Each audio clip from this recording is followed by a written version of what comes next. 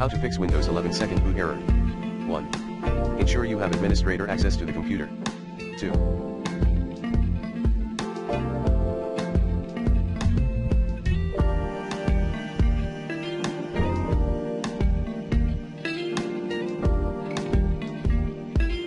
Check drive space and free up some space, if needed.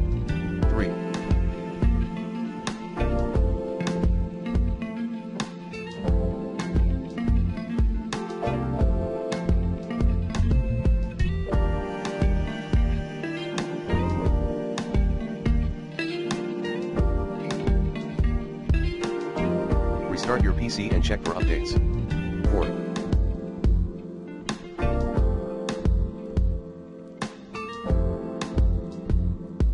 4. Remove external hardware or devices. 5. Update all your device drivers using the recommended Avast driver updater in this video guide. 6. Disable third-party firewall. 7. Repair your system.